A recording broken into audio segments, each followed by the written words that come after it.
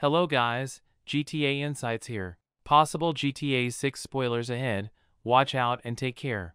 These are some leaks that nobody is talking about.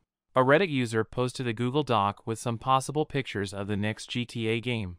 There is this photo of a street, a house, and a roof. Graphics are looking good. There is also two screenshots of character models that look great. They look hyper-realistic and a believable evolution from Red Dead Redemption 2. The girl is supposed to be Rose, one of the main characters. Also in the Google Doc are two images using the classic GTA stylized slash cartoonish look of a man and a woman.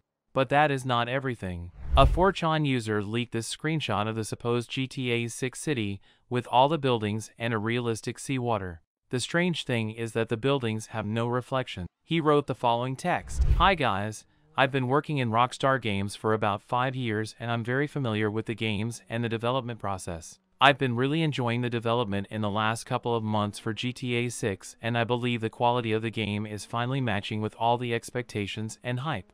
I took this screenshot during a Rockstar employee event in September. We're already at 80% development content for the game and there are still many big features to implement. Most of the game systems are already implemented and functional, we've done a bunch of content testing for both open world and heists. The biggest challenge was making sure we have a solid and cohesive environment that allows us to work and play with freedom. This environment is the main reason GTA San Andreas was such a big success. Anyways, I just wanted to share our knowledge with you guys to let you know what to expect in GTA 6 and I'm glad to be part of the dev team. A Reddit user called planet underscore Serpo made an interesting comment about the 4chan leak. He said, these are all pretty intriguing, especially the screenshot of the Miami slash Vice City skyline.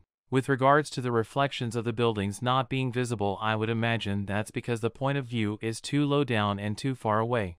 Those volumetric clouds look straight out of RDR2. So what do you guys think? Is it possible that at least one of these leaks is real? Which one would that be? Thanks for watching, and don't forget to subscribe. Bye!